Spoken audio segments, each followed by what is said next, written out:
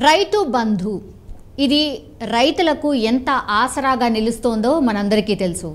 BRS party ప్రవేశపెట్టినటువంటి రైతు బంధు ద్వారా చాలామంది రైతులకైతే పెట్టుబడి సాయం కింద అమౌంట్ అందుతుంది. అది అందరికీ తెలిసిందే. అయితే అసలు రైతు బంధు లెక్క ఏంటి? రైతు బంధు ఇప్పటి వరకు ఎవరెవరికి అందింది? ఎందుకంటే ఈ చర్చ ఎందుకు స్టార్ట్ అయింది అంటే రైతు బంధుని కాస్త రైతు భరోసాగా మార్చింది ఇప్పుడున్నటువంటి సర్కార్ అంటే కాంగ్రెస్కి సంబంధించిన సర్కార్. సో యాజ్ పర్ లెక్కల ప్రకారం రైతు బంధు అసలు ఇప్పటి వరకు ఎవరెవరికి అందింది? ఒకసారి చూద్దాం. అరవై శాతం రైతు బంధు పెట్టుబడి సహాయాన్ని అయితే ప్రభుత్వ ఉద్యోగులు ప్రజాప్రతినిధులు అంటే పొలిటీషియన్స్ పెద్ద వ్యాపారస్తులు డాక్టర్స్ ఇంజనీర్స్ లాయర్స్ వృత్తి విద్యా నిపుణులు ఎవరైతే ఉంటారో వాళ్ళకి రియల్ ఎస్టేట్ దిగ్గజాలు ఏవైతే ఉంటాయో వాళ్ళకి పారిశ్రామికవేత్తలకు కాంట్రాక్టర్ సెలబ్రిటీస్ పూర్తిగా రిచెస్ట్ అంటే వాళ్ళకి అసలు అవసరమే లేదు. నిజంగానే సాగులో కూడా వాళ్ళ భూమి ఉండదు. వాళ్ళకు కూడా ఇలా రైతు బంధు అందినటువంటి సిచ్యువేషన్ ఉంది. సో వీళ్ళు ఎలాంటి ఆర్థిక ఇబ్బందులు పడట్లేదు అండ్ వాళ్ళకి ఎట్లాంటి పెట్టుబడి సహాయం కూడా అవసరం లేదు అండ్ అప్పులు కూడా వాళ్ళకు లేనే లేవు. సో తొమ్మిది నుంచి పదివేల కోట్ల రూపాయలు కేవలం వీళ్ళకు మాత్రమే రైతు బంధు రూపంలో అందింది అనేది ఒక లెక్క చెప్తోంది. యా తెలంగాణ ఎక్కువగా వ్యవసాయ ఆధారితంగానే ఉంటుంది మన రాష్ట్రం మనందరికీ తెలిసిందే. వ్యవసాయ ఉత్పాదనలు కావచ్చు లేదంటే రైతులకు ఆదాయాన్ని పెంపొందించడానికి అండ్ రైతులను అప్పుల ఊబిలో నుంచి బయట పడేసేందుకైతే రెండు వేల పద్దెనిమిది పంతొమ్మిదిలో ఖరీఫ్ సీజన్ నుంచి అయితే వ్యవసాయ పెట్టుబడి పథకం ఏదైతే ఉందో నేను చెప్పినట్టుగా రైతు బంధు పథకాన్ని బీఆర్ఎస్ సర్కార్ ప్రవేశపెట్టింది. సో ఈ పథకం భూమి యజమానులు అందరికీ కూడా అంటే వారి వ్యక్తిగత ఆదాయం అండ్ సంపదతో అసలు ఎలాంటి సంబంధం లేకుండానే రైతు బంధు అందరికీ ఇచ్చుకుంటూ వెళ్ళాం. కానీ అసలు వ్యవసాయాన్ని సాగు చేసే రైతుకు మాత్రం దీనివల్ల ప్రయోజనం లేదు అనేటువంటిది ఒక వాదన. అరవై శాతం భూమి ఎవరి చేతుల్లో ఉంది? ఒక్కసారి తెలుసుకునే ప్రయత్నం చేద్దాం. ఇది లెక్కలతో సహా మనకున్నటువంటి ఇన్పుట్. యా తెలంగాణ స్టేట్ స్టాటికల్ అబ్స్ట్రాక్ట్ అంటే అట్లాస్ ట్వంటీ ట్వంటీ టూ ప్రకారం అయితే రెండు వేల ఇరవై రెండు ప్రకారం అయితే మన రాష్ట్రంలో అంటే తెలంగాణ రాష్ట్రంలో మొత్తం సుమారుగా వ్యవసాయ సాగు భూమి ఎంత అంటే కోటి అరవై లక్షల ఎకరాలు. అండ్ అందులో సాగు చేసే రైతులు ఎంతమంది అంటే డెబ్భై లక్షల మంది. అంటే పోడు భూమి రైతులను కూడా కలుపుకొని. సో సన్నకారు రైతులు ఎంతమంది ఉన్నారు అంటే రెండు పాయింట్ ఐదు ఎకరాల కంటే తక్కువ భూమి ఉన్నవారు నలభై ఏడు లక్షల ఎనభై ఆరు వేల నూట అరవై ఒక్క మంది.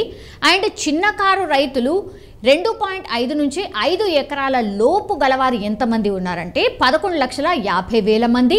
అండ్ మధ్యతరగతి రైతులు అంటే ఐదు నుంచి పది ఎకరాల లోపు ఉన్నవారు ఎంతమంది అంటే నాలుగు లక్షల డెబ్బై మూడు వేల మూడు వందల ఎనభై ఏడు మంది. అండ్ పెద్ద రైతులు అంటే పది కంటే ఎక్కువగా ఎకరాలు ఉన్నటువంటి రైతులు అంటే పది నుంచి ఇరవై ఐదు ఎకరాల భూమి ఉన్న వాళ్ళు ఎంతమంది అంటే తొంభై నాలుగు వేల ఐదు వందల యాభై ఎనిమిది మంది. అండ్ అతి పెద్ద రైతులు అంటే ఇరవై ఐదు ఎకరాల కంటే ఎబో ఎవరైతే ఉన్నారో వాళ్ళు ఎంతమంది అంటే ఆరు వేల తొమ్మిది వందల మంది మాత్రమే ఉన్నారు. సో ఇందులో బీసీ రైతుల శాతం ఎంత అంటే నలభై ఎనిమిది శాతం. అండ్ వారి సంఖ్య ఎంత అంటే ముప్పై నాలుగు లక్షల ఎనభై వేల తొమ్మిది వందల తొంభై నాలుగు మంది. సో వారి వద్ద ఉన్నటువంటి భూమి ఎంత అంటే డెబ్భై ఒకటి పాయింట్ నాలుగు ఏడు లక్షల ఎకరాలు వారి దగ్గరే ఉన్నాయి. ఇక ఎస్టీకి సంబంధించిన రైతుల శాతం ఎంత అంటే కేవలం పదమూడు శాతం మాత్రమే ఉంది. అండ్ వారి సంఖ్య ఎంత అంటే ఎనిమిది లక్షల ఇరవై మూడు వేల వరకు ఉంది.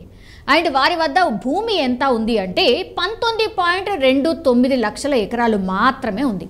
ఇక ఎస్సీ రైతుల విషయానికి వస్తే కేవలం తొమ్మిది శాతం మందే ఉన్నారు. వారి సంఖ్య వచ్చి ఎనిమిది లక్షల యాభై నాలుగు వేల నూట యాభై ఒక్క మంది.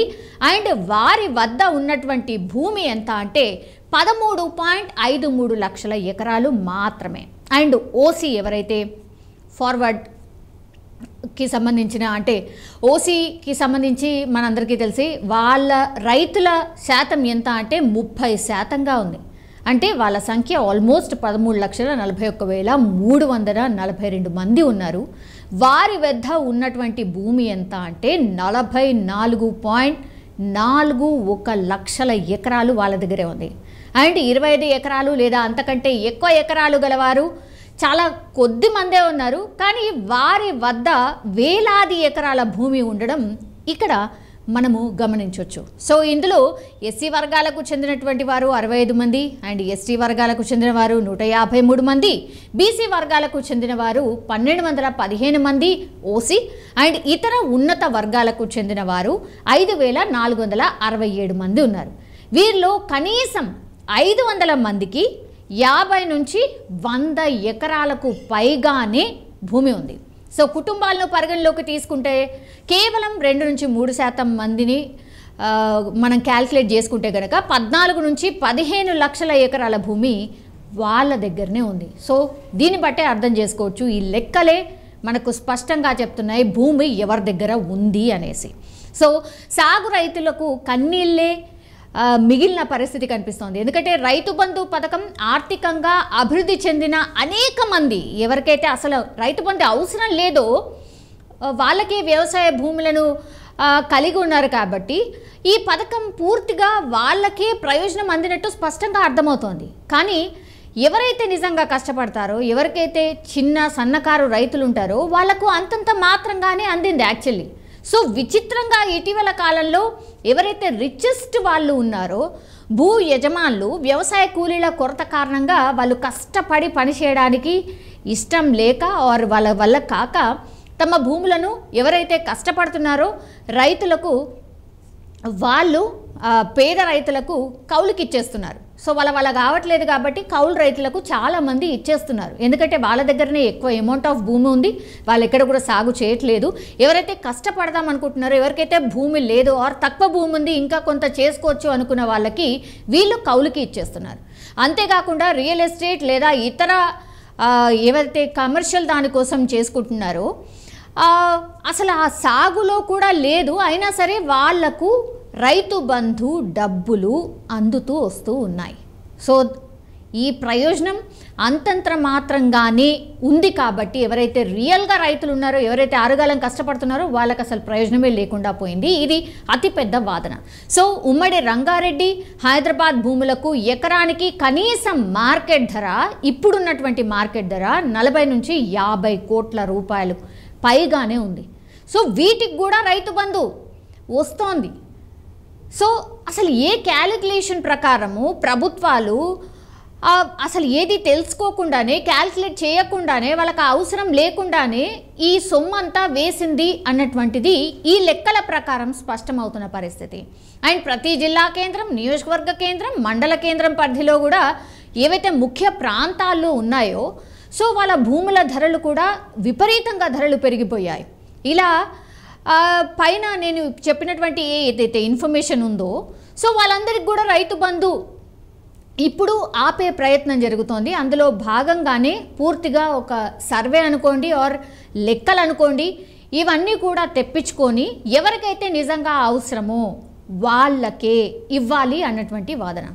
సో ఈ వీళ్ళందరికీ ఇచ్చుకుంటా పోయారు కాబట్టి యాక్చువల్లీ ప్రతి సంవత్సరం అంటే అనవసరంగా రైతు బంధు ఇచ్చి ఖర్చు చేసింది ఎంత అంటే లెక్కల ప్రకారం పదివేల కోట్లు.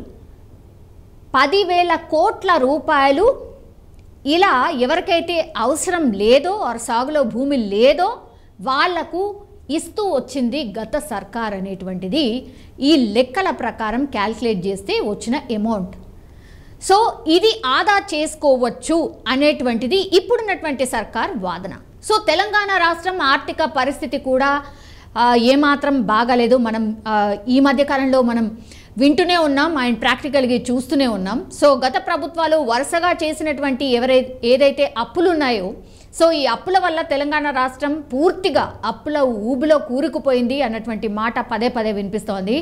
సో ఇట్లా తెలంగాణ ఆర్థిక పునర్నిర్మాణానికైతే సంపన్నులు అండ్ ఆర్థిక స్తోమత ఉన్న తెలంగాణ భూ యజమానులందరూ వాళ్ళకిచ్చి వాళ్ళే స్వచ్ఛందంగా ముందుకు వచ్చి రైతు బంధు సొమ్మును స్వచ్ఛందంగా వదులుకోవాలి అనేటువంటి మాట వినిపిస్తోంది. సో వాళ్ళకిచ్చి వాళ్ళే మాకు రైతు బంధు అక్కర్లేదు అనేటువంటిది చెప్పాలి అనే వాదన వినిపిస్తోంది. So give it up Rythu Bandhu ఒక ఉద్యమం స్టార్ట్ అయింది.